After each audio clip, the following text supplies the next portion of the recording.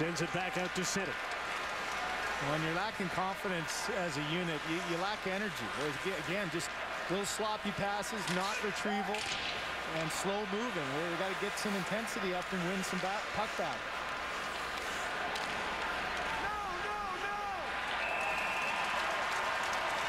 Eaves cleared the puck.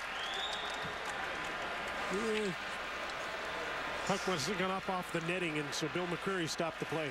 You want to have structure in your entry to the zone. Now, I, I don't know what the two forwards are doing. It's a flyby for the Snowbirds, and then Phaneuf just kind of pile drives it somewhere, but there's two red sweaters and three red sweaters and two red sweaters. They, if you're going to dump it in, it's got to be with a purpose, and it's got to be to give your team a chance to get it back. I don't see that from their entry, so you don't get set up, and then you don't have five compete against four.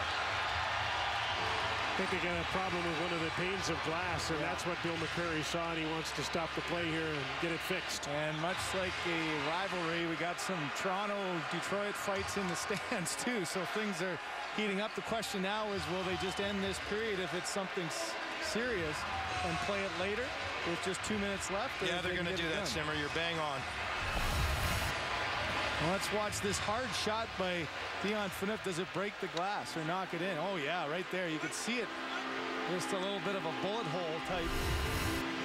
And it's a big crack, so it makes sense to just end this period and put it on to the next one. Well, maybe the Leafs can use a little video, talk about a power play, and come up with something that will make their power play work because they'll have a minute and four seconds to work on the power play when the glass is fixed. Well, that's going to be it. The players are heading for the dressing room.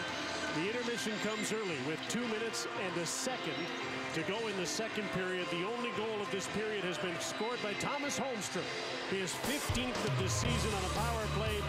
It's 2-1 for the Red Wings. A hockey night in Canada from Detroit.